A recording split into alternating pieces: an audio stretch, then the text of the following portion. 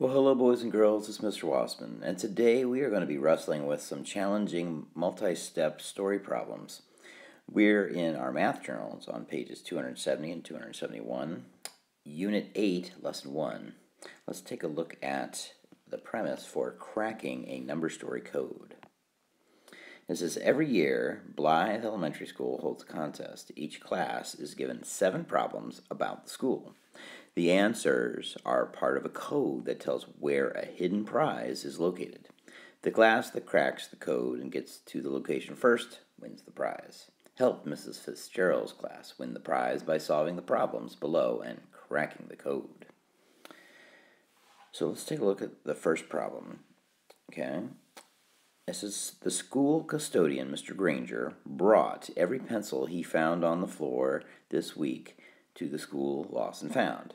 At the end of the week, there were 126 pencils in the lost and found. Mr. Granger said he found three pencils in one classroom and five pencils in each of three classrooms. He then found an equal number of pencils in each of the nine remaining classrooms. How many pencils did he find in each of those nine classrooms?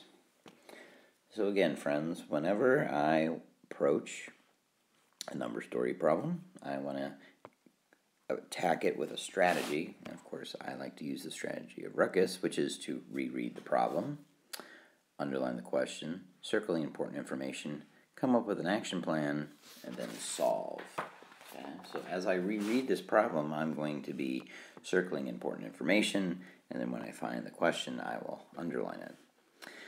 The school custodian, Mr. Granger, brought every pencil he found on the floor this week to the school lost and found. At the end of the week, there were 126 pencils in the lost and found. Mr. Granger said he found three pencils in one classroom and five pencils in each of three classrooms.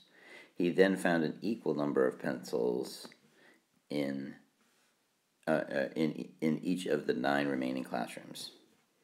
How many pencils did he find in each of those nine classrooms? Okay. So you noticed I circled uh, different pieces of information with different colors because I wanted to uh, break this problem down because there's more than one operation we have to attempt in order to find the answer. Okay. So let's take this problem again, step by step. We know that there are 126 pencils. And we need to figure out how many pencils did Mr. Granger, the custodian, find in nine classrooms. Well, we know that there were three pencils found in one classroom.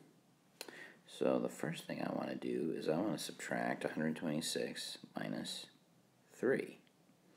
Now with a little bit of mental math, you can figure out that 6 minus 3 is 3. So that would give us a total of 123. Okay, so that's the first one. Five pencils were found in each of three classrooms. Well, now I need to subtract another amount, but this time I'm going to subtract 123 minus 5 times 3. So I put that operation in parentheses because I have to figure out what 5 times 3 is before I can subtract it from 123. Well, since I know my multiplication tables, 5 times 3 I know is 15. So now I'm going to be subtracting 123 minus 15.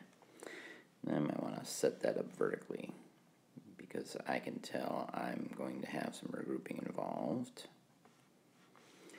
because I can't take 5 from 3, so I got to borrow from the 10, making two tens into one 10, and three ones into 13 ones. 13 minus 5 is 8. 1 minus 1 is 0. I bring down the 100, so my new total is 108. So 123 minus 15 equals 108.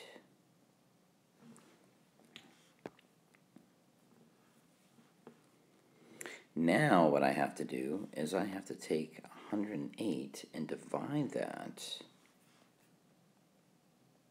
by 9. Now, I can set up that problem with a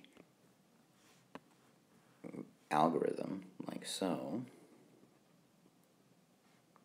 For those of you may not know your uh, timetables off the top of your head, but I already know that 108 is the product of 9 times 12.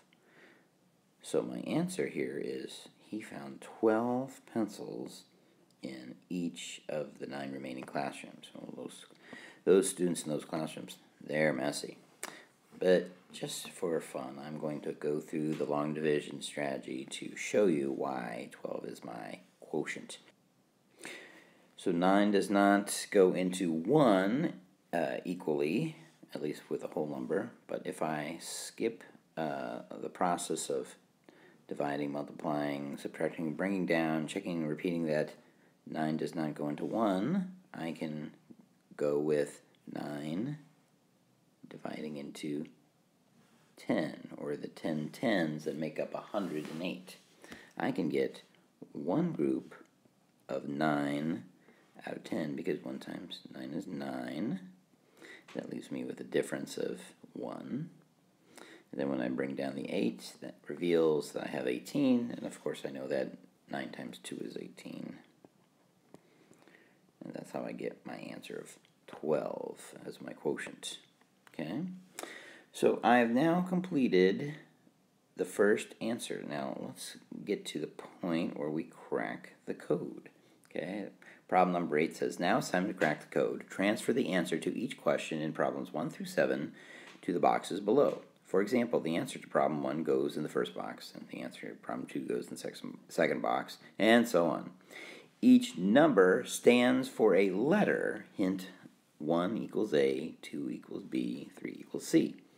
So if my first answer for number 1 is 12, I have to think about what is the 12th letter of the alphabet.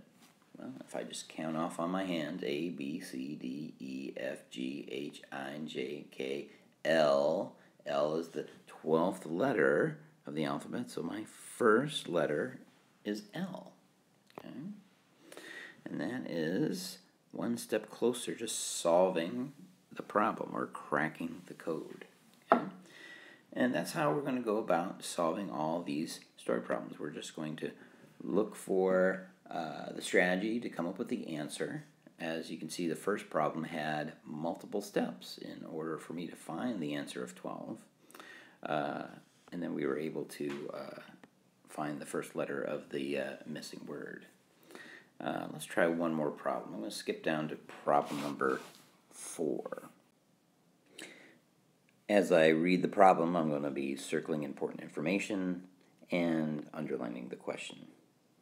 Says here that there are 346 students in the school, and in the morning, many students go to special classes 21 to music, 16 to technology, 24 to the gym, 19 to art, and 10 to Spanish. The rest stay in regular classes. Eight regular classes each have 27 students. The rest of the regular classes have only eight students. And how many total teachers are in the school? Now again, I circled different parts of information with different colors, again, just as a way to visually separate some of the uh, steps in my problem. Okay? If you're doing this at home with a paper and pencil, it's all going to be monochrome. But the first part of this problem tells us that there are different special area classes uh, that some of the students go to in the morning. 346 students total and 21 kids go to music, 16 to technology, 24 to gym, 19 to art, and 10 to Spanish. So the first thing I need to do is I need to reduce this number of students by these first five special area classes. So I'm basically going to create a subtraction problem. 346 is my starting number. I'm then going to subtract 21. That gives me a difference of 325. Then I'm going to subtract 16 I have to do a little regrouping here. That gives me a difference of 309. Then I'm going to subtract 24. And again, I have to do some regrouping, but I can do the mental math. 30 minus 2 is 285.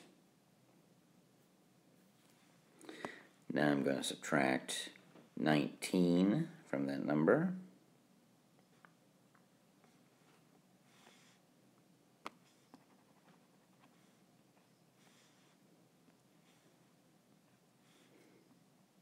Don't need a subtraction symbol there.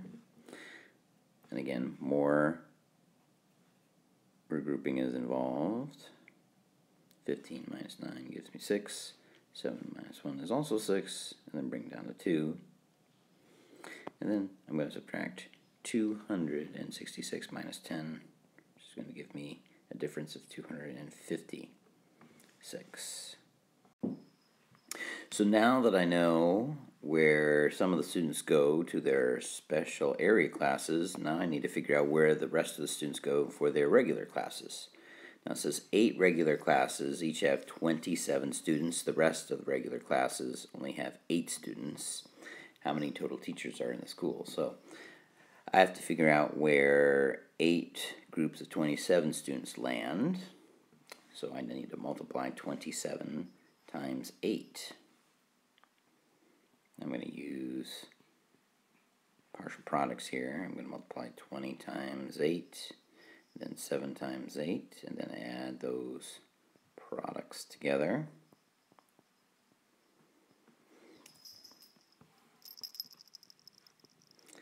That gives me a total of 256 minus 216 because my A classes of 27 students need to now be subtracted from my total here. Leaves me a difference of 40. And then it says the rest of the regular classes only have 8 students. Okay, so if I have 40 students. I'm going to divide them into groups of 8. I'm going to have 5 more groups of 8. Okay? So now what we need to do is we need to figure out how many total teachers there are. Well, we do that by figuring out how many different classes there were all together. Okay? So starting with the special area classes, there were one, two, three, four, five classes, so that means five teachers, right? Uh, there were eight regular classes that had 27 students in each, 27 times 8. Uh, so that gives us 8 more teachers, so 8 plus 5 is 13. And then we had to determine how many more classes were made up of only eight students, and there was five, five more classes. So that means five more teachers. Okay?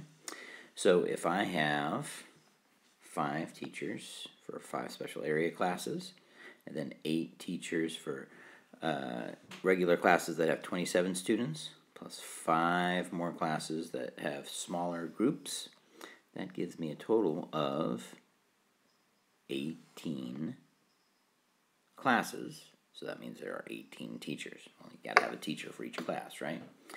So my total number of teachers in the school is 18. So I'm going to transfer that answer to my little code here.